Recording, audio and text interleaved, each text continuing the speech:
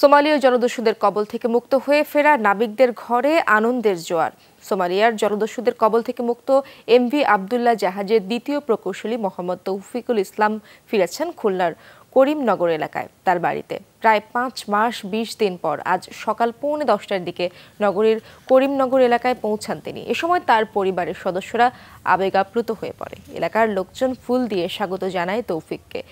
এ সময় তৌফিকুল তার জিম্মি দশার অভিজ্ঞতা শোনান। গত বছরের পঁচিশে নভেম্বর জাহাজে গিয়েছিলেন তৌফিক।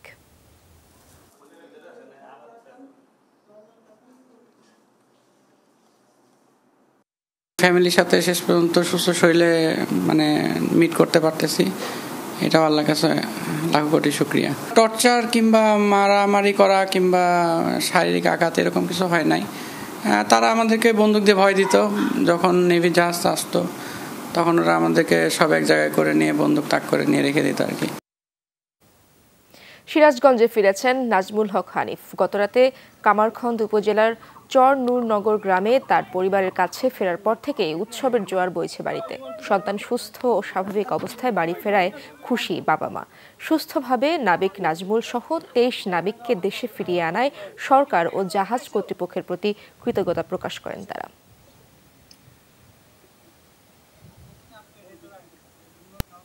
গতরাত সোয়া দশটার দিকে শহরে পৌঁছান ফেনীয় দাগনভূঞা উপজেলা ইব্রাহিম খলিল উল্লাহ বিপ্লব। তিনি এমভি আবদুল্লাহ জাহাজের ইলেকট্রিশিয়ান হিসেবে কর্মরত। দুই মাসের জিম্মি দশা কাটিয়ে পরিবারকে কাছে পেয়ে আপ্লুত হয়ে পড়েন বিপ্লব। অপেক্ষার প্রহর শেষে তাকে জড়িয়ে ধরেন তার মা ও স্ত্রী সন্তানরা। খবর পেয়ে ছুটে যান জনপ্রতিনিধি। সেখানে তাকে ফুলেল শুভেচ্ছা জানানো হয়। শারীরিক অবস্থার খোঁজ খবর নেন সবাই। গত বারোই মার্চ ভারত মহাসাগর থেকে কেএসআরএম গ্রুপের মালিকানাধীন এই জাহাজ ছিনতাই করেছিল সোমালিয়ার জলদস্যুরা। মুক্তিপণ দিয়ে তেত্রিশ দিনের মাথায় তেরোই এপ্রিল জাহাজটি মুক্ত হয়। দর্শক, লক্ষ্মীপুর নাবিক আইয়ুব খানের বাড়িতে আছেন আমার সহকর্মী আনিস কবির। সেখানকার খবর জানাতে সরাসরি যোগ দিচ্ছেন তিনি। আনিস প্রত্যাবর্তনের আনন্দ কীভাবে উদযাপন করছেন স্বজনরা এবং এতদিন পর নাবিক, তার সন্তানকে কাছে পেয়ে বাবা মা কি বলছেন?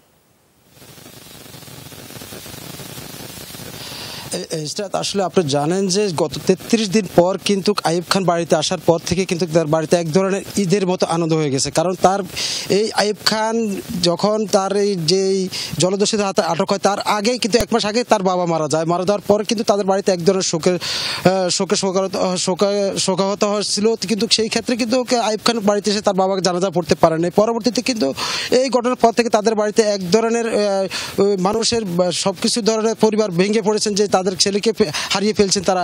তবে এই মুহূর্তে আমি আইব খান, যিনি বর্তমান জলদস্যুর হাতে আর মুক্তি পেয়েছেন, তার সাথে আমরা একটু কথা বলব। তার অনুভূতিটা কেমন এবং তিনি পরিবারের কাছে এসে কেমন অনুভূতি পেয়েছেন? জি, আলহামদুলিল্লাহ, শুক্রিয়া মহান আল্লাহ তালার প্রতি। ধন্যবাদ সবাইকে আমাদের জন্য দোয়া করছেন।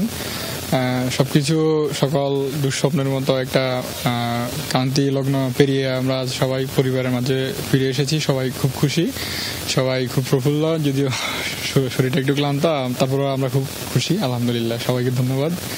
আমাদের জন্য আমাদের জন্য দোয়া করছেন।